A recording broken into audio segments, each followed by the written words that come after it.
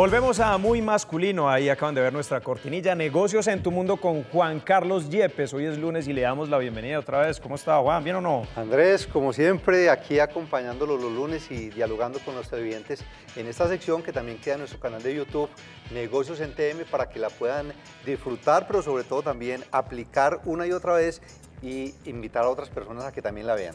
Al inicio de Muy Masculino les estaba contando a los televidentes del tema de hoy, los anclajes en la programación neurolingüística, o hay muchos que, conocen del tema y pues de pronto tienen ahí eh, algún, algún concepto, pero hay otros televidentes que como que, Juan Carlos Yepes, programación neurolingüística, anclajes, ¿eso qué? O sea, yo estuve leyendo un poco y no sé si, si, usted me, me corrige, es como esa capacidad que yo tengo de, si me voy a enfrentar a algo, yo le digo al cerebro, voy a actuar de esta manera y, lograr salir avante de, algún evento, más o menos como es el, el, tema. Esa es una muy buena asociación y enseguida vamos a explicar ya más en detalle. ¿Vio los Juegos Olímpicos? Sí, mucho. Bueno, en las competencias deportivas uno ve cada vez más que hay más anclaje. De hecho, en estos días se estaba leyendo un artículo de Mariana Pajón, nuestra campeona olímpica, y decía que utilizaba al máximo la programación neurolingüística y con toda seguridad los anclajes para ser muy exitosa y sobre todo disfrutar muchísimo cada una de las competencias. Pero entonces, listo, está claro el concepto, pero entonces no sé si a través de un ejemplo o cómo entonces uno, esas situaciones que a veces eh, le da susto, que no tiene confianza, en fin, pues, hay muchos, muchos, muchos, muchos lugares, muchas situaciones, muchas cosas de la vida que hacen que uno como que no se tenga confianza o que no sepa cómo actuar.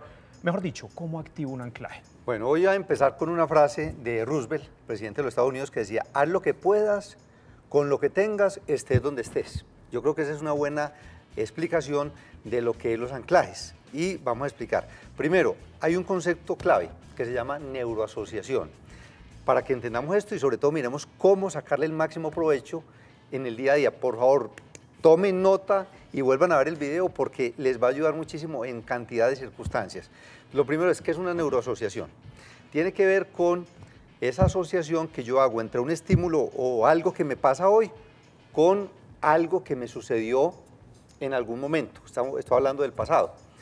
Ejemplo concreto, le ha sucedido que usted pase por una esquina y que esa esquina específicamente le traiga un buen recuerdo o un mal recuerdo y que en ese momento usted como que siente algo, siente tristeza, o siente alegría, o siente nostalgia.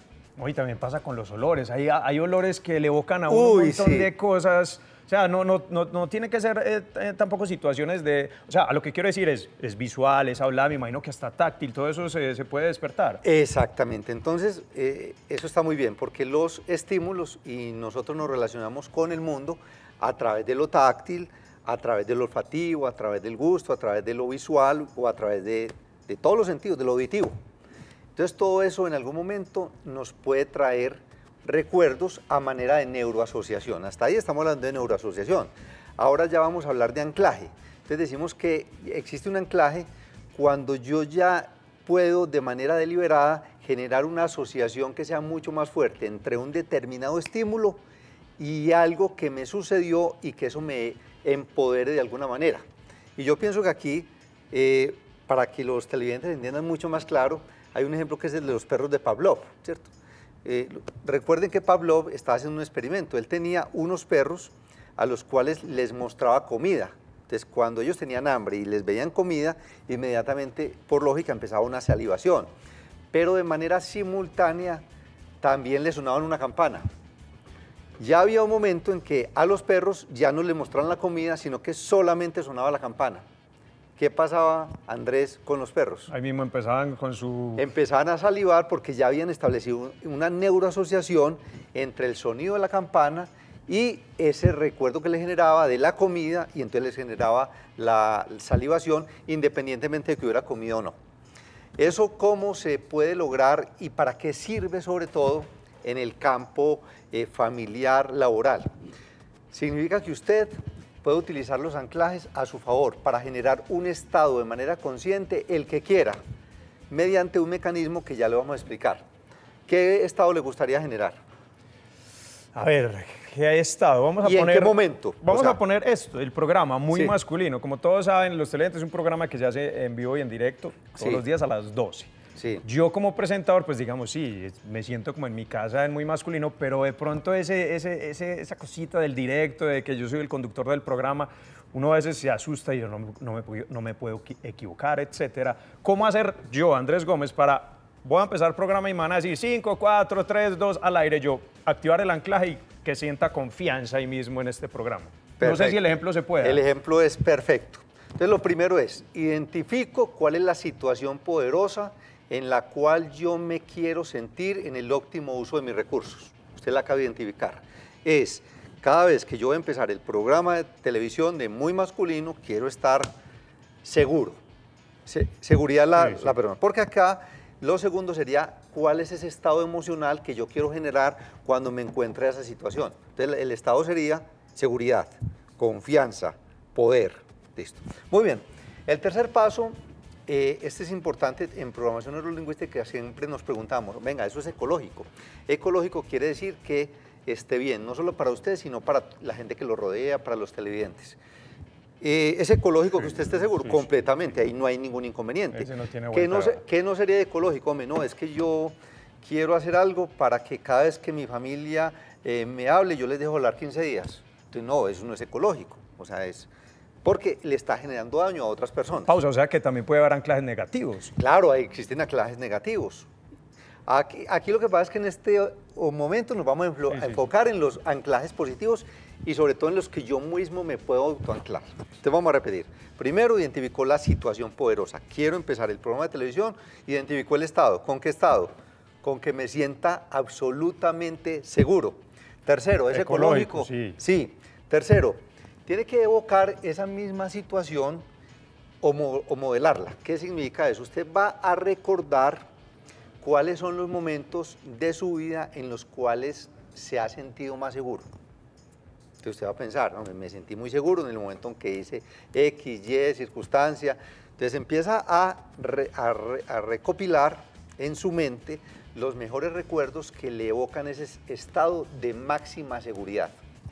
Listo, Ya lo está perfecto. pensando, Sí, está sí, pensando ya varios. Tengo como tres. Igual aquí este ejercicio no tiene que ser tan rápido, aquí lo estamos haciendo rápido por efectos de televisión. Usted luego lo va a repetir en su casa ya con mucha más calma, porque ahí es muy importante, ahí juega lo auditivo, lo visual, lo kinestésico, todo eso, el BACOC, como se llama en PNL, porque cada uno de esos recuerdos usted le va a poner como efectos especiales. O sea, los va a ver como si estuviera en una sala de cine, con full colorido, con eh, sonido surround estéreo, o sea, todo amplificado para que en su mente el estímulo sea mucho más poderoso, que el solo recordarlos genere en usted un estado emocional muy intenso, que usted se sienta absolutamente seguro que es lo que quiere lograr más adelante cada vez que llegue al programa. Listo.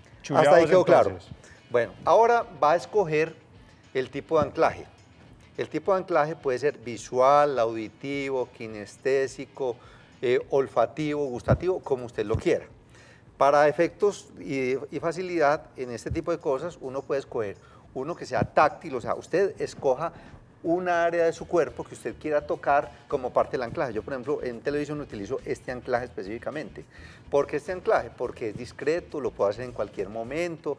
Imagine que el anclaje sea pues algo así, pues raro, entonces dice, ay, ¿qué le está pasando a ese hombre? No, tiene que ser algo que sea fácil de hacer sin que sea muy notorio. Listo. ¿Qué anclaje quiere Ese hacer? me gusta, ese está bueno. Bueno, entonces usted coge acá y, se- y hace una, una determinada presión. Listo. Haga esa presión porque es muy importante que luego la presión sea la misma, el punto sea exactamente igual. Listo, Ok, Hasta ahí vamos bien. vamos muy bien.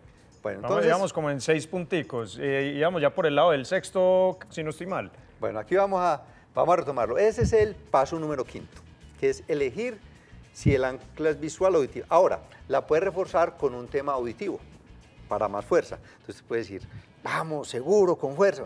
Cualquier lema que usted quiera eh, combinarle de manera auditiva. Listo, Entonces usted está en el baño, se ancla y dice, hoy más seguro que nunca. Listo, perfecto. Cualquier cosa, una frase.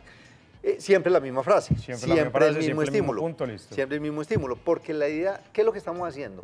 Estamos creando una neuroasociación entre esta ancla, que es kinestésica y que es auditiva, con el estado, ese- con el estado que ya evocó en el pasado, pero que lo quiere traer a la memoria cada vez que empieza el programa de televisión. Listo, perfecto. ¿Qué quiere decir que acaba, acaba de buscar cuál es el detonador? O sea, usted seleccionó que el ancla es visual y auditiva y acaba de seleccionar cuál es el detonador. Cada vez que usted haga esto, es el, detonador que debe traer a su mente toda ese, esa sensación de seguridad. Listo, entonces los últimos dos que nos queda, creo que un minutico del segmento, Juan. Bueno, entonces el, el otro es, desconectes un ratico, haga otra cosa y luego venga y pruebe el ancla. O sea, diga, a ver, ¿qué pasa cuando yo hago esto? Si viene esa sensación de seguridad, quedó bien anclado. Entonces ahí hay varias cosas, hay cuatro cosas que hay que tener en cuenta muy rápido para que esta ancla funcione de manera perfecta. La primera es la intensidad del estado, o sea, que realmente usted logre recrear la sensación de máxima seguridad. O sea, ¿qué es lo que quiere?